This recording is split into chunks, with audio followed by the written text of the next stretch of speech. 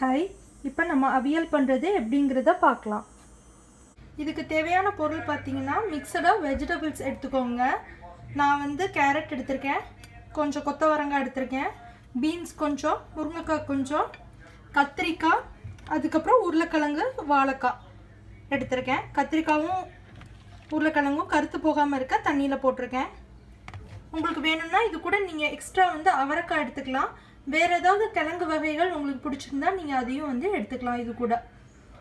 அரைக்கிறதுக்கு பார்த்தீங்கன்னா தேங்காய் ஒரு மூணு பச்சை மிளகாய் எடுத்திருக்கேன். ஜீரகம் ஒரு கால் டீஸ்பூன். அதுக்கப்புறம் தாளிக்கிறதுக்கு பார்த்தீங்கன்னா கடுகு உளுந்த பருப்பு தேங்காய் எண்ணெய் கருவேப்பில் இந்த மூணு எடுத்துக்கோங்க. அப்புறம் தயிர் வந்து ஒரு அரை கப் நான் இதில் எடுத்திருக்கேன். மாங்காய் போடுறவங்க மாங்காய் வந்து இதில் நான் ஆட் பண்ணல. மாங்காய் போட்டிங்கன்னா தயிர் வந்து கொஞ்சம் கம்மி பண்ணிக்கோங்க. புளிப்பாக இருந்தது அப்படின்னா. அப்புறம் உப்பு உங்களுக்கு தேவையான அளவு. மஞ்சள் பொடி ஒரு பிஞ்ச். அதுக்கப்புறம் காயம்.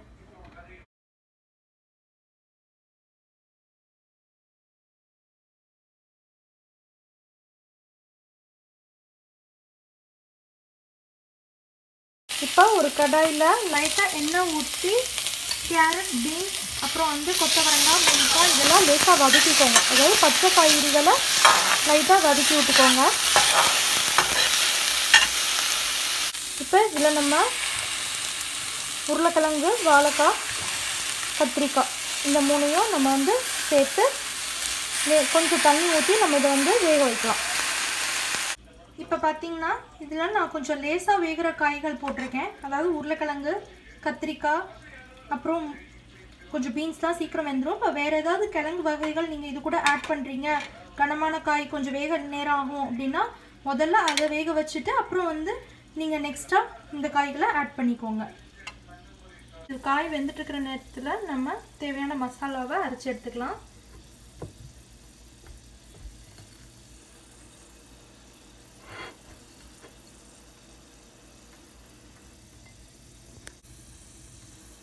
இப்போ பார்த்தீங்கன்னா நம்ம இதை அரைச்சி எடுத்துக்கிட்டோம். காய் வந்து ஆல்மோஸ்ட் வெந்துடுச்சு இப்போ நம்ம ஒரு பிஞ்ச் மஞ்சள் பொடி சேர்த்துக்கலாம். அப்புறம் தேவையான அளவு உப்பு சேர்த்துக்கலாம். இப்போ நம்ம உப்பு சேர்த்ததுக்கப்புறம் நம்ம அரைச்சி வச்சிருக்கிற மசாலாவை இது கூட சேர்த்துக்கலாம்.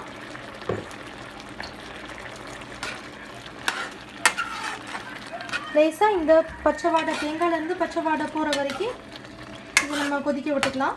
அதுக்கப்புறம் நம்ம தயிர் சேர்க்கலாம்.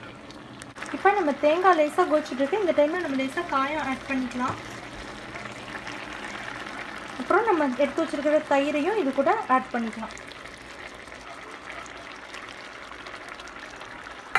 இதை ஒரு ரெண்டு நிமிஷம் நம்ம அடுப்பில் வச்சுட்டு அதுக்கப்புறம் நம்ம இதை இறக்கிக்கலாம்.